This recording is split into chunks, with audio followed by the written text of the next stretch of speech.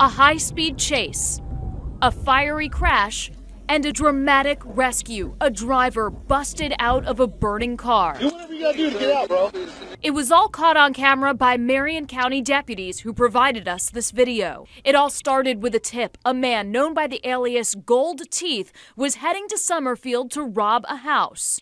Deputies spotted the suspect's white Dodge van in a parking lot on Southeast Highway 47th Avenue and Highway 484. They identified the suspect as convicted felon Scott Michael Beekman, who also has a suspended license. Deputies tried to stop him as he left the lot, but they say Beekman took off. The video shows deputies chasing the van as it swerves and speeds recklessly through the streets. At one point, a random driver tried to block the lanes to stop the van, but as you can see, it swerved right around the roadblock. The van eventually crashed into a stop sign and a tree, overturned and caught fire. With tactical gear, deputies approached the van, busted through the front window, and Beekman crawled out. I got it.